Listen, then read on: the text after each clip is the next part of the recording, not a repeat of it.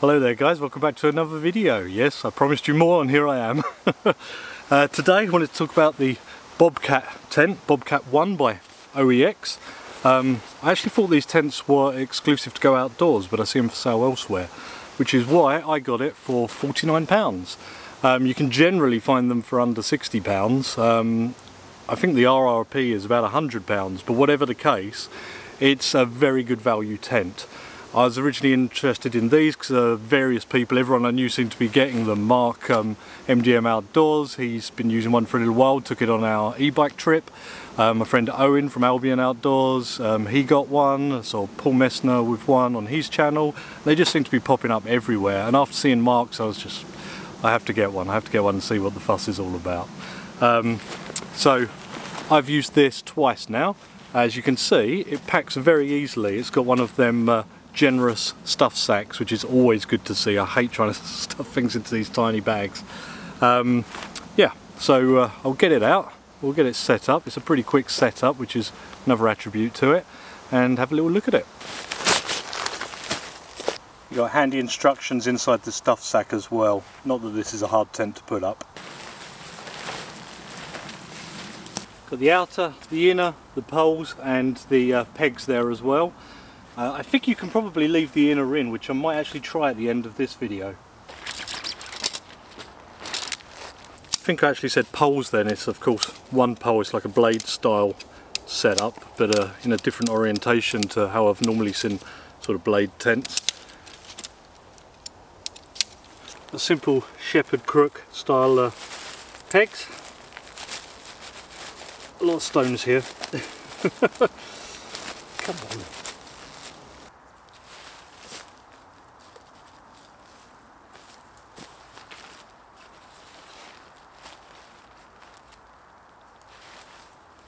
Okay, we're going to thread the uh, pole through. That's our ridge. Now we're going to put the pole into the holes on both ends. This is the tricky part because OEX tents are pretty notorious for having tight fits with their poles. So, there we go, it wasn't too bad to be honest. I know that Mark on his has actually cut his pole down a slight bit. Um, maybe mine is just better than his in that respect, I don't know that wasn't too bad. And I could just readjust these just to tension everything up properly. Right now I've got five pegs in each corner and one in the middle of the back here. Um, there's an extra point on here with a line on and tensioner uh, and that just gives you a little more space inside by pulling that out as you can see. You could attach it to a tree, to a pole to bring it right out or just into the ground with another peg.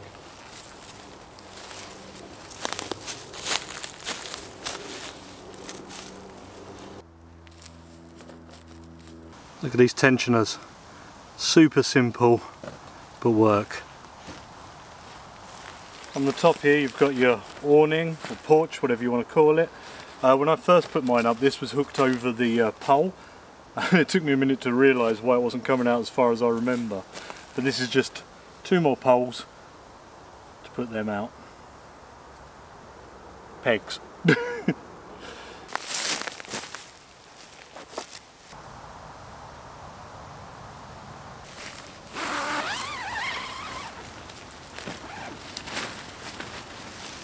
hard for me to show me doing it, but there's hooks on the corners of the inner which hook onto the corners of the outer.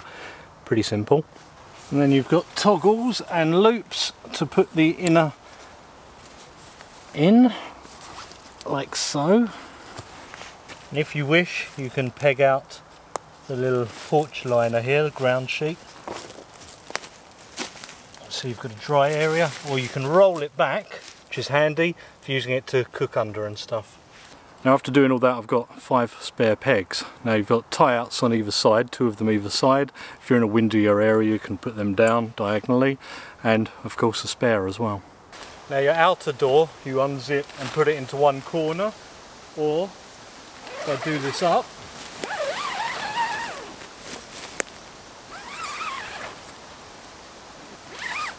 you can undo the top to either just look out and most of it's covered by this porch area or just for ventilation if you wanted to open it up to here or something which is what I did when I used it last. with the inner unzipped you can see inside here. Um, I'm not a perfect pitch here because of the unevenness of the ground but plenty of room for one. Now I use my um, Topo Luxe mat in here which is extra wide rather than the regular version and um, it fills it nicely. I'll inflate that in a moment uh, you've also got pockets either side which is lovely. You've got a hanger for a lamp as well. And of course you've got this little porch area as well so you can stuff gear into the corners there. Um, cook in this area in the morning if you want. Um, yeah. I'm still playing around with this Flextail Gear Zero pump at the moment which there will be a review on as well and that should be that side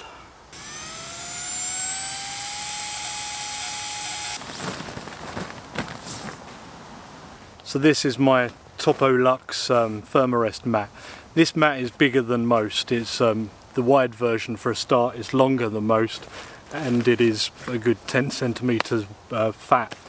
Um, it fits in there quite snugly. There's a little bit of space down the sides and a tiny bit at the ends. You can easily use the pocket still. You can stuff your head torch, your water bottle, whatever you want in here. Anything else will go in the vestibule area of the tent as well. Now, if I get inside there, I can quite comfortably sit up. It's uh, a couple of inches free up there. I'm uh, 5'10 about roughly. um, and yeah, I can sit up and I'm on this big mat as well. Uh, so you've got plenty of room. Uh, this is dangling a little bit. I think that's slightly due to my pitch, but it will dangle a little bit whatever.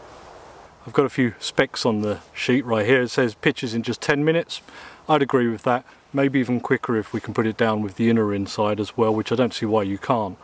Uh, the weight is 1.9 kilograms. So that puts it lightweight, not ultra lightweight, but um, you have got an inner um, vestibule. It's a good tent for that. Um, pack size is 41 by 14 by 14 centimeters and you can get it in um, olive and green. I think the olive is kind of a browny sort of colour. I'm not really sure. It's not like normal olive green. Um, but uh, I've only seen the green model with my own eyes. You can get their, what do they call it? OEX Expedition tarp and that kind of goes over the top and gives you an extra porch area. I'm assuming that's quite a lightweight one because it's not like a big 3x3 um, may look into getting one to use with it. But on the subject of cover, I have used this in horrendous rain and that rain went on all night, uh, held up perfectly. Um, I've been with Mark when he's used his in a thunderstorm that went on also all night and that was even worse. Um, he's used his loads and held up brilliantly. Um, so it's a 5000 millimeter hydrostatic head. Um, for whatever that's worth is waterproof. uh, don't trust anything written down, I just trust it when I use it. And um, yeah I trust this tent. Here's a side view of that kind of porch, it's not massive, I think it could be a bit bigger to be honest. Uh, but if you just open it up for ventilation while it's raining it's absolutely fine. Depending on the angle of the rain you might get cover um, when you're in the vestibule cooking and stuff as well but um, of course like I said you can put that tarp on there as well. This is me laying down in the tent, I have to squat down so you can see me um, but uh, just enough room really. I wouldn't say it's roomy, I wouldn't say it's cramped. It's kind of perfect and if you wanted to you can sit up, um, do whatever you need to in here, um, get changed, whatever. Um, yeah.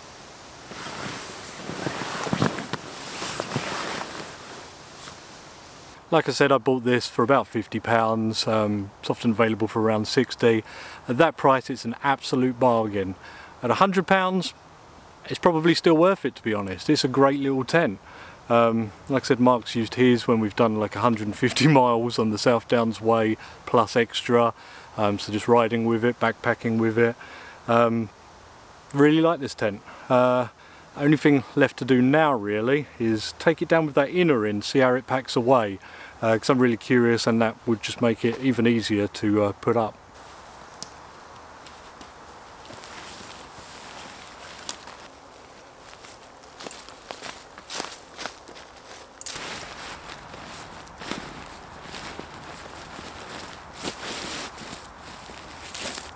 So there it is, all packed away with the inner, and I probably could have done a better job, but it definitely would pack down even further if I took more time. Um, like I said, great little tent. Uh, it's waterproof, it's pretty light, uh, lighter than most of the other lightweight tents, just not as lightweight as uh, ultra lightweight. Uh, quick to put up, easy to uh, pack. Yeah, it's got my thumbs up. um, I'll link if I can find a good deal at the moment on them down below. I think Black's had a good deal. Um, otherwise I'll just put down the OEX um, Go Outdoors one. They price match anyway. Um, hope you found that informative. Thanks very much for watching and uh, I'll see you on the next one. Goodbye for now.